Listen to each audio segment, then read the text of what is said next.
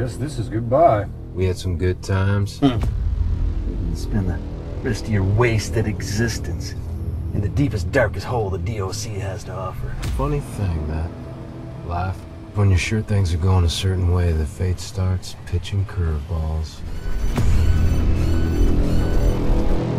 A massive manhunt is underway for these two men, Jacob Tullis and Ronald Mitchell. Both men somehow managed to escape last night. Hey, man. Pass these out.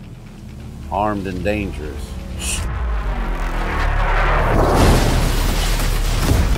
That's incredible.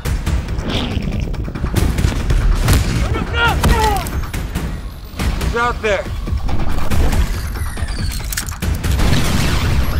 Evening, y'all. Cool as cucumbers, and we won't have any more problems.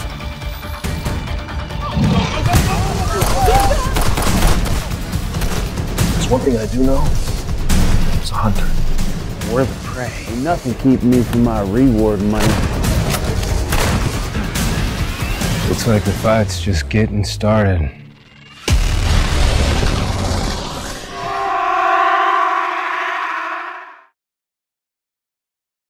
What's up? Hey, buddy, how you doing? I'm doing good. Good, good, I love it. I love this. Good to see you, man. Good to see you.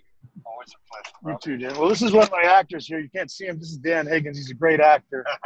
we are filming a horror western called Skinwalker, Ooh. which we are in the. You guys are literally catching us right in the middle of. So, So if I fly out, if I drive out to Tempe, I can get a walk-on part. I can get killed or be something. well, th- uh, we were, we wrapped out of Phoenix last night, so you'd have to drive up to the high country in the mountains. And, but it's beautiful up there. It's not. It's cool. It's uh, yeah, good stuff. Sweet. Well, cool, man. You ready? Want to do some questions here? Absolutely, man. Absolutely. Is the, is the audio okay, or should I kill the car? No, you sound fine. Sounds great. Thanks, buddy. Appreciate that because the AC's blowing, keeping me alive. Well, cool. Well, let's talk about Battlefield 2025. So, tell me about the script to screen and that process. So, when you Well, it was. Yeah, I'm sorry to interrupt. Uh, yeah, it was a fun process. I mean, uh, director Joseph Mbah is a really talented young guy, and he DP'd a couple projects for me, and he wanted to do a film. Um, you know, as we usually do them on very short budgets, but driven by a lot of passion and dedicated cast and crew. So, you know, basically what we did is I, I'm a big fan of the Twilight Zone. And, you know, a movie where the ending kind of throws you, and I'm not going to spoil it, but the ending kind of shows you that everything that you witnessed is just the beginning. Um, which maybe I just spoiled int- unintentionally, but hopefully in an intriguing way. It'll still make you want to see the movie. So that's kind of it. I mean, I was thinking about, you know, I've done a couple alien creature features. I'm actually, what I'm doing now is a Native American mythology creature feature, if you will. So, uh, but it's set in the Wild West. So, you know, it's a genre I'm very familiar with. And that, that was kind of my process, just starting with, you know, what can we do based on kind of the old, uh, you know, Rod Steiger Twilight Zone type approach. and and tell me about writing as a team. How did that work? Well, I mean, you know, Joseph, I, I tried to give, was, I'm, I'm new to this whole EP thing and, and handing over the creative reins to somebody else. So it was, um, I had some issues there, but I've had a lot of uh, EPs myself and I've had to deal with their feedback. And, you know, I know how uh, intrusive that can be to the creative process.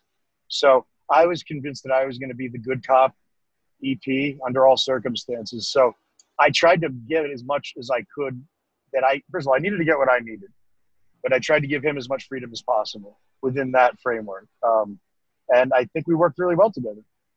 And of course, Battlefield 2025 has a very small budget. So, can you give me examples of thinking on your feet when something arose that you had to do guerrilla filmmaking or a situation where Oh, the whole thing is guerrilla, film? buddy. Yeah, yeah. I mean, it's all like today. You see, I got my truck packed with gear. What can't see the gear, but like, I got an actor here. I just picked up from a hotel. Uh, I'm the transportation coordinator, the gaffer, the grip, the PA, the you name it. So, um, but basically, I mean, you know, there's always adversity. It, they, they they stop becoming challenges after a while because they just become Tuesday. You know what I mean? So I'm just trying to think of a specific one. Uh, uh, well, you know, the cops showed up because we had fake weapons and they thought they were real, but that happens all the time. Um, geez, I don't know. It was very cold during principal photography. I will say that. Uh, that was pretty difficult. I, I, I'm trying to think of a better anecdote. I'm just not. That was. Uh, just, I'm sorry, I'm not really coming up with one on the spot. That's fine. That's fine. And were there discussions about the look of the alien? How, how many meetings did you have about that? Well, the alien was interesting. Marcus Koch, who did the creature design, did a great job there. You know, he um, basically we we were trying to base it kind of. You know, I'm a big fan of 1950s kind of B movie sci-fi. Trying to keep some of that influence into it, but also make it kind of cool and techy. So, real cross between practical and um, you know uh, uh, uh, CGI. But uh, you know, Joseph more or less knew what he wanted for the armor and all that, and uh, the the mask, and what he wanted the creature to be kind of all reptilian in nature. So I like that because it's kind of a throwback to the '50s stuff. So yeah, kind of uh, more Joseph and me kind of concepted it out together. I'd say. Uh, guy Kodiak Darling is his name. Did the armor for the creature, which I thought he did an amazing job on such a short budget. The ray guns, all the cool stuff you see there, all the CGI you see in the film is all Joseph, and he he did excellent. And then if you look at um, I'm sorry, the uh, the third person involved is Titus Covington, who played the creature, which is super important because you've got to have a great actor playing a creature. You know, it, it, otherwise everybody's playing Frankenstein. You know, they don't know how to act real and make it. They're acting with their body. You know, they're deprived of their voice, but they have to give an entire believable performance. I remember, you know, I had the pleasure many years ago. Dan and I did working on a film with Kane Hodder. Uh, you know, who's an excellent actor, but he, he's, he's, you know, he rose to prominence playing Jason, a stuntman, and he worked so well. Like, he, you know, just the excellent, perfect example of a horror movie man monster who knows how to scare the heck out of you without opening his mouth or without you even seeing his face. So uh, I think Titus did a good job. I'm not saying he's on Kane's level, but uh, being as young as he is, I think he's uh, he's got a good future ahead of him. And, and probably the most regal name for an alien ever, Titus Covington. I just love that name. Isn't that true? I mean, yes, Titus Covington plays the monster. Yeah, yeah. And I think you know you have so many characters in this movie, and you have to just kind of figure out which one. I loved Roy. I think he was one of my favorite characters, and also he had the best death in the movie. yeah, yeah, yeah, yeah. It's funny, you know, uh, we try to give them all good deaths, but sometimes you run out of time and money. So like sometimes you have to go to like the worst is the off-camera kill. If you're just like you just hear them go ah, you know, because we're just like man, we don't have any more time. We don't have any more. We don't even have money to make any more fake blood. So let's just do this. But yeah, he got a good one. He got a really cool one. He got zapped with a ray gun to the head, right? Yes, yeah. That was Roy. Yeah, it was a good. And Roy was funny because he he thinks he knows everything. Sean Dillingham, very talented actor. Uh, thought you know he thinks he knows all, but of course his wife is you know making a big idiot out of him behind his back, and and she was great. Jamie Baxter played the wife, and and Big Buck was fantastic. Tell me where you found him. He is just I well, loved him. Michael Harrelson is his name. Michael and I go back as long as Dan and I do. Michael, if, almost all of my movies, Michael is in. He's one of my go-to. Like, just he'll come into any situation. Uh, there's always a great presence, and he's very versatile. You know, he looks almost like a character actor, but he and he is a character actor, but he can play many different characters. I've had him play a Russian gangster, uh, a strip club owner. I've had him play uh, uh, the really sweet old grandpa. I've had him play uh, Catholic priest with an Irish accent. I mean, he's done it all, you know. And he's played a, a used car dealer kind of, you know, guy. So well, you know that like, post-credit scene, Big Buck needs a spin-off movie, and that commercial. I totally agree. It had a Rob Zombie feel to it. That Rob Zombie. Well, that commercial. Yeah, thank you for mentioning the commercial because I had a lot of fun with that. I got my dad in that, and I shot that part of it because I just wanted to do something fun with the big buck. We needed something just filler so you see it on the television. That was all that was scripted. So Roy watching television when his wife is sneaking out to meet Little Buck. Um, and I'm like, let's just, so we, we made a whole shoot of it. I said, let's not waste this. Let's put it at the end of the credit sequence. We had the bikini girls. They were great. You know, very kind of, uh, just, I, I try to like look at all the worst local commercials in any city and just, it was so fun. Casting, uh, the actors had so much fun with that because they got to like deliberately act awful.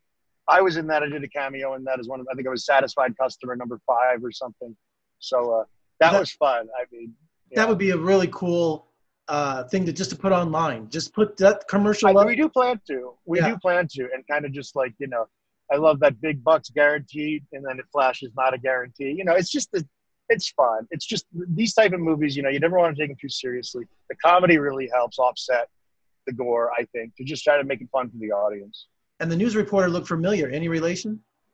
Yeah, it happens to be my dad. I know. And I filmed that in my dad's kitchen. Just green, throw up a green screen, got my dad in there, and uh, he's Robert Conway Sr.